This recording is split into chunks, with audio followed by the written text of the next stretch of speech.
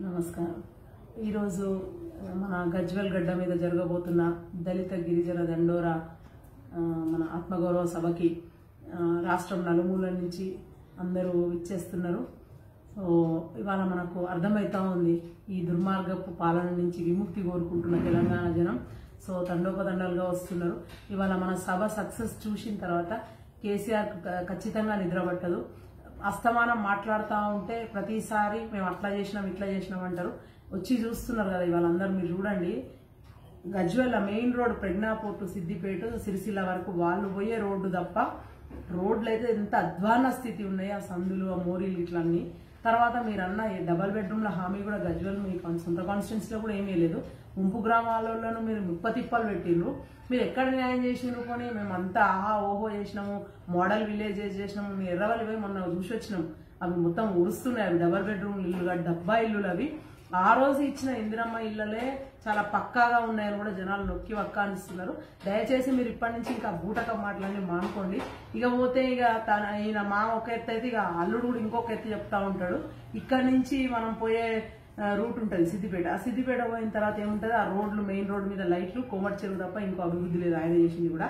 అసలు ఒకప్పుడు గొప్పగా మనము సిద్దిపేటల అగ్గిపెట్టెల పట్టే చీరలు నేసిన ప్రాంతం మాది. తర్వాత ప్రధాన విల రెండు వేల పద్నాలుగు ఎలక్షన్ హామీ కూడా చేనేత క్లస్టర్ పెడతాం. ఇక్కడ దుబ్బాకలో పెట్టి దుబ్బాక సారీ దుద్దెడలో పెట్టి దుబ్బాక దుద్దెడను సిద్దిపేటను కలుపుతూ అక్కడ ఒక క్లస్టర్ పెడతామని చెప్పిండు. ఇంతవరకు కూడా అది జరగలేదు. సో రెండోసారి ఎలక్షన్ కూడా అయిపోయింది. మీరు ఫస్ట్ టైం ఇచ్చినవి అమలు చేయలేదు. మీరు మేనిఫెస్టోలో మెన్షన్ చేసిన రెండోసారి ఇచ్చినవి అయితే అసలే అమలు చేయలేదు. సో ఇంకా కూడా ప్రజలు మిమ్మల్ని నమ్మే పరిస్థితి లేదు. ఇవాళ ఇంకొకటి ఇవాళ తెలంగాణ విమోచన దినోత్సవం జరుపుతాను మనం మన ఆత్మగౌరవం మనం కాపాడుకోవాలి ఎవరు చేస్తలేరు మనం గొప్పగా చేసుకుందామని చెప్పి నువ్వు ఏడేళ్ళు పెట్టి పట్టింది మీకు ఇంకా కూడా చేస్తలేరు. మరి మళ్ళా ఎలక్షన్ పోయేటప్పుడు ఏం చేస్తారు? ప్రజలు నిలదీస్తారని మీకు కొంచెం కూడా లేదా? సో మన మరాఠవాడలోని మూడు జిల్లాలు కన్నడ ఐదు జిల్లాలు మన ఎనిమిది జిల్లాలు ఆ రోజు అయితే అయింది కదా మరి విలీనమైనాయి కదా. కొన్ని మీరు విమోచన దినం చేయకపోతే విలీన దళం అనండి దాన్ని కనీసం ప్రజలకు చెప్పే పరిస్థితి లేరు. అది విమోచనమా విలీనమా విద్రోహమా ఏదో ఒకటి చేయమని డిమాండ్ చేస్తున్నాం ఈరోజు. అధికార పార్టీలో ఉన్నారు మీరు. ఎక్కడ కూడా మీరు జెండా ఎగరేసిన పాపాన పోతలేరు ఇవాళ ఖచ్చితంగా దీన్ని సె- సెలబ్రేట్ చేసుకోవాలి మనం మనకు విముక్తి దొరికింది కాబట్టి మనం ఖచ్చితంగా చేసుకోవాలి. ఈవెన్ మరాఠవాడ వాళ్ళు కూడా ముక్తి దివస్ అని చేసుకుంటున్నారు. మన దరిద్రం మన దౌర్భాగ్యం మనం ఇక్కడ ఉండడం వల్లనే మనకి ఏది జ- జరుగుతలేదు. మనం మన ఆత్మగౌరవాన్ని మనం కాపాడుకోలేకపోతున్నాం. అదొకటి అవన్నీ ఒక ఎత్తు అయితే మేము వాడుకుంటూ ఉంటుంది సిద్దిపేట చీరగట్టి సిరిసిల్ల రైక తొడిగి నాయంట నువ్వు రావే. చిన్నదాన గంగమ్మ అని ఒకప్పుడు మా సిద్దిపేట జిల్లాలో ఇవి గొల్లబామ చీరలని మాకు పేటెంట్ ఉంది. గొల్లబామ చీరలను గొప్పగా నేసిండ్రు అసలు. ఇవాళ గొల్లబామ చీరకు ఎక్కడ కూడా అడ్రస్ లేకుండా పోయింది. ఏ చీరను మేము పక్క జిల్లాలలో నేయించుకొని రావాల్సిన పరిస్థితి వస్తుంది. మగ్గాలు బంద్ అయినాయి. సిరిసిల్ల సిద్దిపేటకు రావాల్సింది పోయి సిరిసిల్లలో పెట్టుకున్నాడు ఇక కొడుకు తీసుకుపోయి.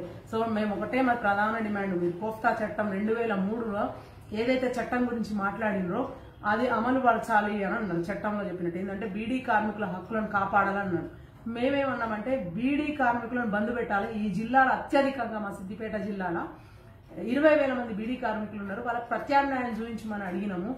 చెప్పిండ్రు. ఐటీ హబ్ పెడతామన్నారు. మహిళలకు జూట్ అది ఇది పెట్టి ప్రోత్సహిస్తామన్నారు. ఎక్కడ కూడా వాళ్ళు బీడీలు చేసే వాళ్ళు బీడీలు చేస్తూనే ఉన్నారు. ఎక్కడ ఏ ఐటీ హబ్ రాలేదు. పైసలు మాత్రం కాళేశ్వరం పేరు మీద ఇబ్బడి ముబ్బడిగా తెచ్చిండ్రు. అప్పులు కట్టడానికి వీళ్ళకి మిత్తిలు కట్టడానికే ఖజానా ఖాళీ అయిపోయింది. ఇవాళ మెయిన్ దళిత బంధు దళిత బంధు పేరు మీద ఇవాళ హుజూరాబాద్ వేస్తామన్నారు. ఓ ఏడు మందికి సీఎం గారు ఓ వంద రెండు మూడు వందల కోట్లు ఖర్చు పెట్టి పెద్దగా ఓ కాన్వాయ్లతో పోయి ఏడు మందికి వేసి వచ్చిండ్రు. అలాగే సేమ్ వాసాల మరిలో కూడా అదే చేసిండ్రు. ఇప్పుడేంది వేసంట నెలకు పదివేలు మాత్రమే వాడుకోవచ్చట. దళితులను ఎంత ఘనం మోసం చేస్తున్నారంటే అంతగానం మోసం చేస్తున్నారు. దళిత ద్రోహి అనాలి నన్ను దళిత బంధు కాదు ఈ ముఖ్యమంత్రిని. దళితులకు అన్నాడు మూడు ఎకరాలను పోయినాయి. దళిత ముఖ్యమంత్రి అన్నాడు పోయింది. మళ్ళీ కొత్తగా దళిత బంధు ఎత్తుకున్నాడు. ముచ్చట మూడోసారి కూడా ఇట్లనే మోసం చేస్తారు కాబట్టి ఇవాళ ప్రజలు ఎవరు కూడా తెలంగాణ ప్రజలు ఎవరు కూడా మిమ్మల్ని నమ్మే పరిస్థితి లేరు ఇప్పటి నుంచి అయినా గలీజ్గా ముఖ్యమంత్రి పదవికి కొంచెం వన్నె తీసుకొచ్చే ప్రయత్నం చేయండి. ఇట్లాంటి మాయల పక్కి మాటలన్నీ బంద్ చేసి కొంచెం ప్రజలకు మంచి ఫేస్తో పోయే ప్రయత్నం చేయండి.